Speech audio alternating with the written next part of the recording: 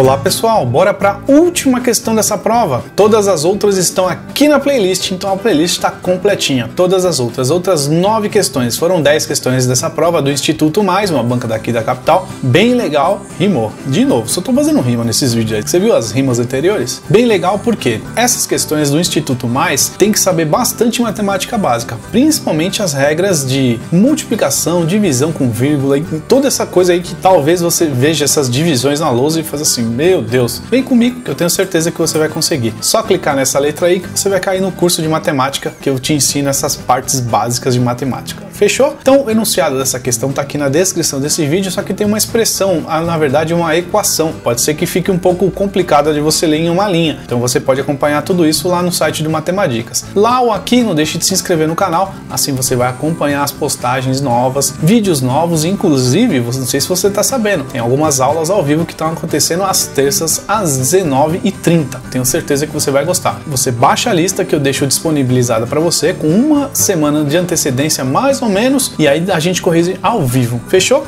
Então bora para a questão. Vou deixar essa questão na tela. Você pausa o vídeo, tenta resolver e depois você vê a resolução. Foi.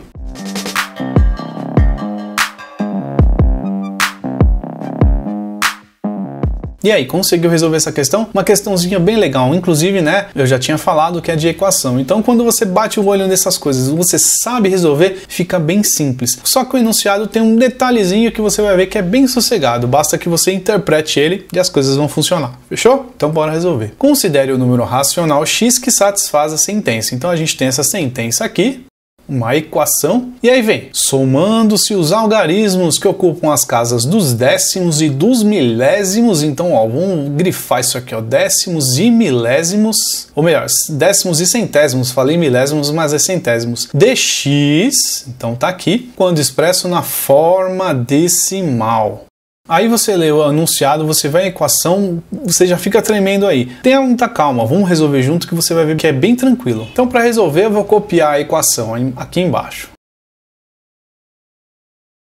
Prontinho, copiada a equação, agora a gente vai resolver. O que, que a gente pode fazer aqui? Ó, multiplicar em cruz, então vai ficar 200x menos 6 vezes 1 que está aqui embaixo é 200x menos 6. Esse 24 que está dividindo vai passar multiplicando, então vai ficar 10 vezes 24. Aqui a gente não consegue fazer nada, pode até passar esse menos 6 para o outro lado, porque tudo que tem letra de um lado, tudo que não tem do outro. Então já vamos fazer isso de uma vez. Ó. Vai ficar 200x desse lado igual a 10 vezes 24 vai dar 240.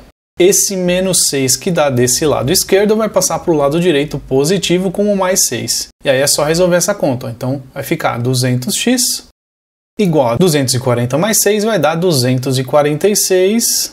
Esse 200 que está multiplicando vai passar dividindo, então vai ficar o seguinte: 246 dividido por 200. Bom, aí agora você pode fazer da maneira que você quiser. Dividir direto, simplificar. Mas como a gente vai ter que ter um número expresso na forma decimal, eu já vou fazer essa divisão direto para ficar mais simples. Eu vou montar ela aqui, poderia ter dado resultado direto, mas eu vou montar porque a gente vai precisar dos décimos, tá aqui, e dos centésimos. Então vamos colocar 246 dividido por 200. Pego 246, vai dar 1. Uma vez 200, 200, para 246 faltam 46. Não dá para dividir 46 por esses 200, a gente vem aqui, coloca uma vírgula e coloca um zero. 400 dividido por 200, que vai dar 2. 2 vezes 200, 400, para 460 sobram 60. Não dá para dividir 60 por 200. Então a gente vem aqui já coloca outro zero. Não precisa colocar outro zero aqui, porque a gente só acrescentou uma vez. Então pega os 600 aqui, que vai dar 3.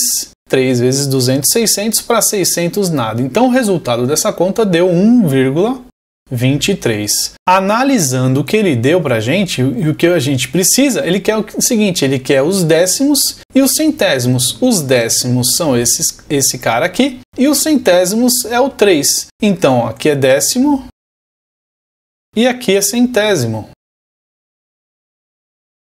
Agora vamos ler a pergunta, que vai ficar simples. Somando-se os algarismos que ocupam as casas dos décimos e dos centésimos de x, quando expresso na forma decimal, obtém-se Bom, então a gente tem que juntar o quê? O décimo com o centésimo. Tem que fazer a soma desses dois caras. A soma desses dois é 2 mais 3. 2 mais 3 a gente tem um resultado de 5. E 5 está na alternativa D. E está resolvida a questão. Vamos lá pintar no gabarito, que é legal, né? Pintar não, né? Vamos assinar lá o gabarito. E aí, curtiu essa questão? Bem legal, né? Depois que você desenvolveu essa equação, chegou no valor de x, era só fazer o quê? Somar os décimos com os centésimos. No caso, 2 mais 3, que vai dar 5. E tá resolvido no gabarito letra D dessa questão. Se você se enroscou em algum lugar dessa questão, volta o vídeo e vai anotando devagarzinho que eu tenho certeza que você vai entender. Caso você tenha dúvidas e dificuldades em divisão com, com vírgula, frações, essa parte básica de matemática, dá uma olhada no meu curso que estava na letra I, tem aqui no primeiro link na descrição. Eu tenho certeza que vai te ajudar bastante. Muito obrigado por assistir esse vídeo até aqui. Assistir essa prova completa. Se você não assistiu, é só clicar na playlist novamente aqui que apareceu e aí você vai conseguir resolver a prova completa, certo? A gente se vê no próximo vídeo. Inscreva-se aqui no canal, dá aquele joinha, compartilha com os amigos e bora pro próximo vídeo. Não pula não, vai pro próximo, já pega um rascunho aí, vamos resolver bastante questão, ok? Muito obrigado e tchau!